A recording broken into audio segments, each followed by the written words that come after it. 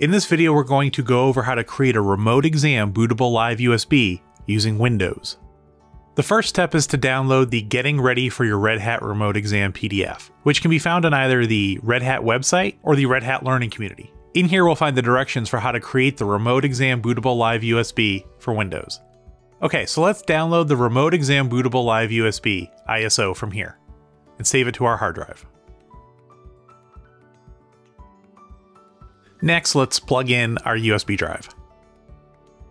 The next step is to download and install the Fedora Media Writer.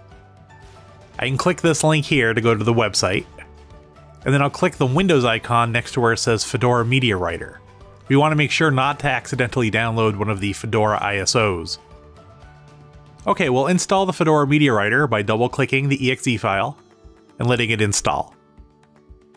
Once that's installed, I'll click Run Fedora Media Writer and I'll click Finish. Fedora Media Writer is opened. Let's click Custom Image, and then we'll select the ISO we downloaded, rhrexboot.iso. I'll just double check that I've selected the correct USB drive, and then I'll click Write to Disk. Just be patient. Depending on the speed of your USB drive in your system, this could take a few minutes. Okay, great. The live exam USB has been created. All that's left is to boot into our exam environment.